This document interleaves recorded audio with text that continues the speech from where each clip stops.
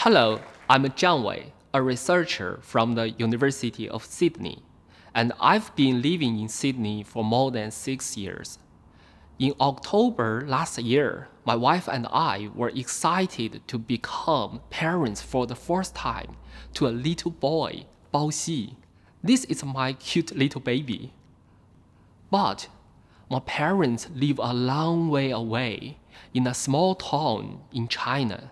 Due to COVID 19, worldwide travel bans, and closed borders, my parents haven't met their only grandchild in person. This has been difficult for all of us.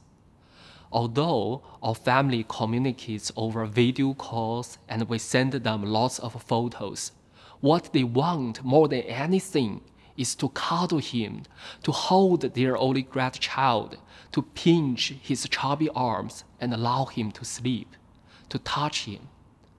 Today, I'm developing a low delay communication method, which I hope will one day help families like mine to be able to touch over the internet. For a person to touch something or someone remotely using the tactile internet, a user would wear a highly sensitive glove, stylus, or other type of device, which can render the sense of touch and transfer that sensation to the user. At the other end, an actuator device, such as a robotic avatar, would mimic the movement of a human operator and collect the touch feedback using tactile sensors. For example, if my parents want to touch my son, they could put on some highly sensitive glove that allows them to control a robotic hand next to my son to reach through the internet and hold my baby's hand. Touch isn't the only way. For this to work, the robotic hand should be able to feedback information to the human operator on weight, texture, softness, warmth, or the chubbiness of my son's cheek. Here you can see how you can not only use the tactile internet to control a robotic arm, but you will be able to feel the weights and the textures of the objects in the virtual environment. This is important when precise, delicate handling is required, like in the manufacture of dangerous goods or chemicals, it will allow a human operator to work at a safe distance while doing work that requires expert skills and human touch using a robotic glove and a robotic hand to control and feel a sense of touch. My research is not about robotics, it's about communication, to allow us to touch despite long distance that separate us. The current internet mainly supports the transmission of visual and audio media. But for tactile internet to work, we first need to reduce delay and increase reliability so that there is no perceptible lag. When your finger touches something, you feel it immediately. It transmits to the brain. Tactile internet needs to work the same way. Although 5G technology provides ultra-reliable low-latency communication for radio access networks, for long-distance communication of tactile internet, the major bottleneck is the speed of light which is known as upper limit for the speed.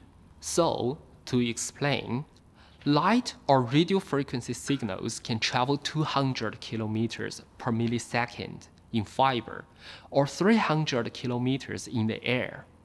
China, for example, is about 7,000 kilometers away from Australia. The propagation delay alone will be 35 milliseconds in the fiber and 23 milliseconds in the air, which is much larger than the 1 millisecond required for the tactile internet to work. One way to reduce the delay is to predict the future state of the user, to predict what the movement my hand will make in tens or hundreds of milliseconds by using artificial intelligence. That way, we can send the predicted movement to the receiver in advance. Over the last few decades, the internet has dramatically changed the way we live. I believe that tactile internet will redefine the way we interact with each other and with the world in the future. Just raise your hand. I want you to imagine what you could do if we could touch over the internet. You could feel a fabric when online shopping. A piano teacher from another country could teach you in a whole new way a doctor could diagnose a medical condition for a remote patient, and technical experts could even conduct repairs on space infrastructure from down here on Earth. With tactile internet, the skills of experts can be delivered remotely. So, let's take a glimpse of the more distant future of tactile internet.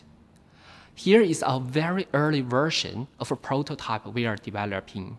The user can control the robotic hand to make a fist or open palm using just the human brain's electrical signal with a help of a brain-machine interface. In the future, the user could even feel the sense of touch transmitted back to them by stimulating some specific areas of brain. I call it the cerebral internet. At the current stage, invasive brain-machine interfaces are still needed for a highly reliable system. But in the future, this will no longer be necessary. A viable tactile internet or even cerebral internet would allow families to hug, colleagues to shake hands while geographically separated, and expert skills being delivered freely all over the world. While we hope my parents will be able to meet their grandson in person one day, soon the tactile internet will literally be able to keep us all in touch.